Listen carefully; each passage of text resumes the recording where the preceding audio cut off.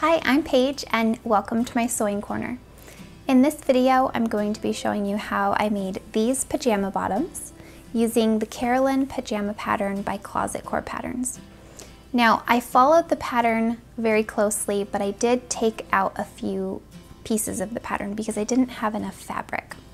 So one of the things that I did was extended the side seam up on the front pattern piece just to create a flat panel instead of cutting to create an opening for a pocket. So it's just one piece. Very, very simple alteration. And then I also narrowed the cuff of the shorts. And again, that's just because I didn't have extra fabric. And with that said, let's get right into the tutorial. Okay, so what you're going to need for these shorts is just the pattern, some contrasting or matching piping, the waistband elastic, which is one and a half inches wide, some pretty ribbon if you want to use it. It's completely optional, matching thread and the fabric.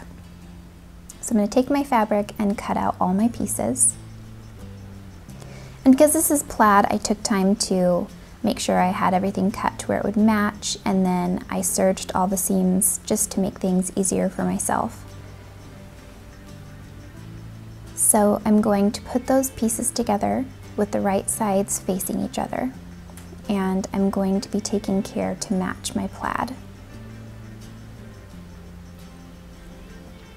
When I'm matching plaid or stripes, I'm always making sure that I'm matching far away from the edge because when you stitch about 5, 5 eighths of an inch away from the edge, your plaid might not be matching that far in and it could be matching just on the edge. So I match a good distance inward.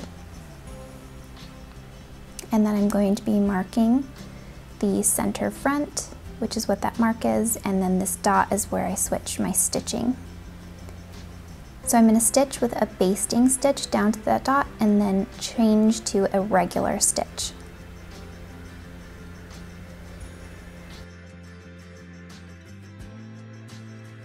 And then right at this point where we switched our stitches, we're going to clip in, but not through the stitching line. And here you can see that I am folding all of the fabric over to one side. And then I'm going to be making a mark on where that dot is on the front side. And this is where my bar tack is gonna go. So I'll do a bar tack right there where the pin is and then do a curved stitching line over the top.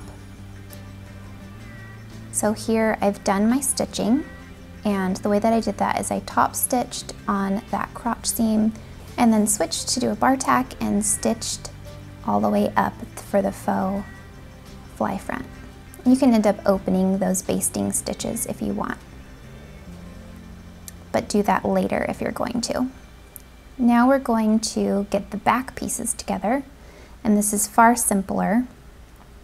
So you're just going to match any lines if you have them and stitch normally from top to bottom. And then I'm going to iron my seams and top stitch.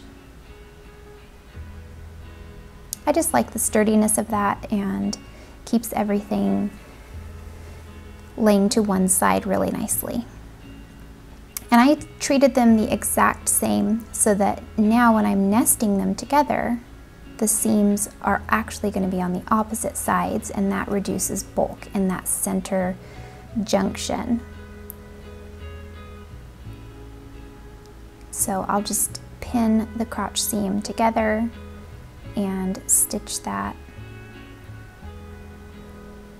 and this is what it looks like. You can see that the top stitching is not even, but the actual seam is even. And the seam allowances are nested one to one side and one to the other side. Now I'm going to match up my plaid lines on the sides and I also top stitched those as well.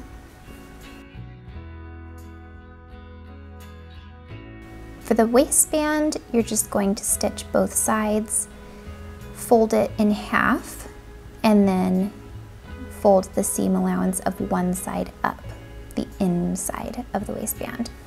So here, this isn't necessarily something you have to do. I just decided to add buttonholes to slide my ribbon through. So I put a little piece of interfacing and marked the buttonholes and made sure that they were evenly spaced. And as I always do before I actually sew into my fabric, I always test my buttonholes on a scrap. So here I'm just gonna align where I want the buttonhole to be and just let the machine do the work.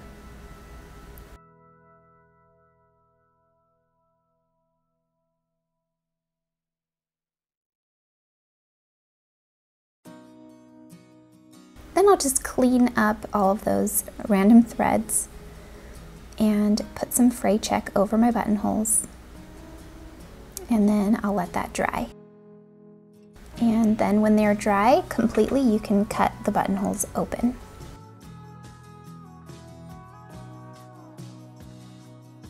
Then you can begin to attach the waistband to the shorts by just matching up that the seam of the waistband and the back seam of the shorts and then the front seam and the front seam of the waistband. And then you'll match the sides after those have been in place, pinned in place. So once everything is nice and smooth and pinned, you can sew all the way around to attach it. And you can see that I went and serged it too and then pressed it the seam allowance up into where the waistband will be. And then now with that folded over section that you ironed, you can align that with your stitching line. Stitch in the ditch from the front side, making sure to catch the waistband just like that, catching it a little bit, but here from the front, you don't see the stitching because you're just stitching right in that seam line and I left an opening at the back and that's to slide the elastic in. So I always just put a big safety pin on and scrunch it through. I sewed the ends together after I double checked to make sure it fit me well and then you can slide it into place and adjust everything where it needs to be.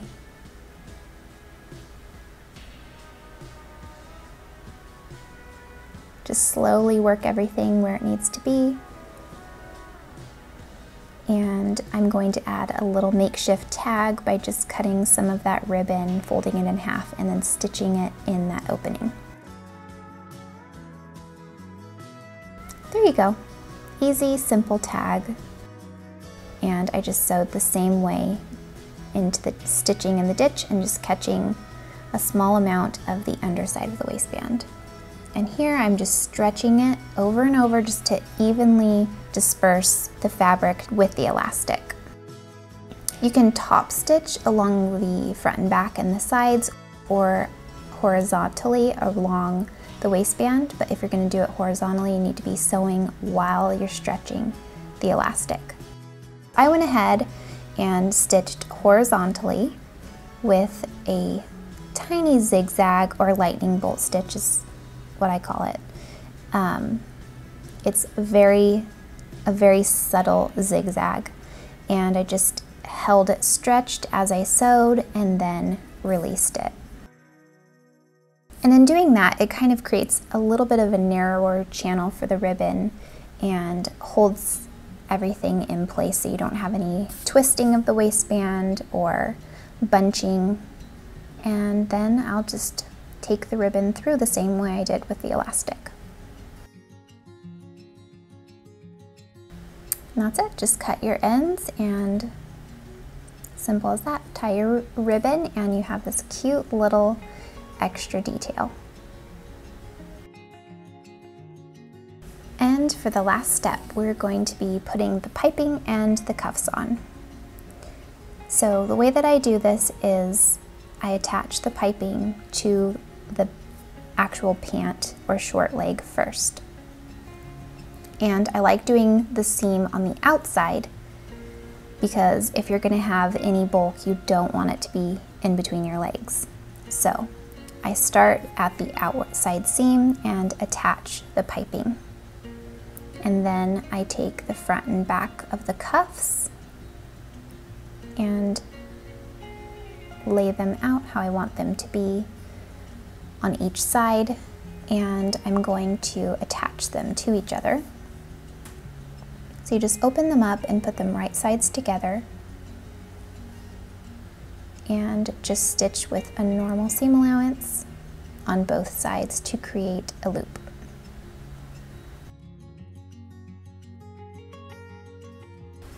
Okay, so I just treated the cuffs the same way I did the waistband. I folded them in half and then on the inside I ironed the seam allowance inward and the raw edge is the one that's going to be attached to the pant leg on top of the piping.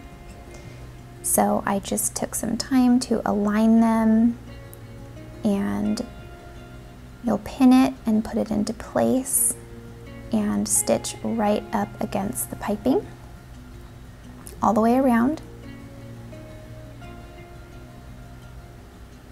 And then just as you did with the waistband, you'll pin everything just slightly outside of that stitching line and then stitch right in the ditch between the piping and the cuff. And then once you've done that, the cuffs are held in place and it's finished.